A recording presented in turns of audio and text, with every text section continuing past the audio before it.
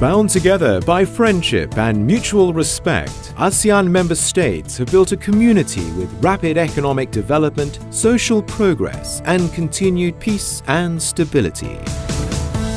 ASEAN is the fifth largest economy in the world and one of the fastest growing.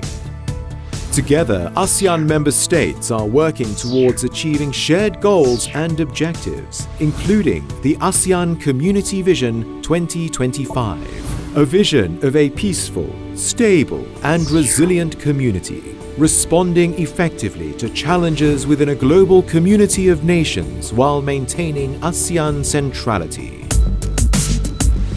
This year, the world has confronted one of its greatest challenges to date with the impact of the COVID 19 pandemic affecting the entire ASEAN community. ASEAN is determined to enhance its ability to adapt and recover, to embrace opportunities from new technologies and innovation, and to be ready to face challenges together. In 2021, Brunei Darussalam has the privilege of chairing ASEAN. Under its chairmanship, Brunei Darussalam hopes to harness the caring nature of ASEAN. Preparing for the future.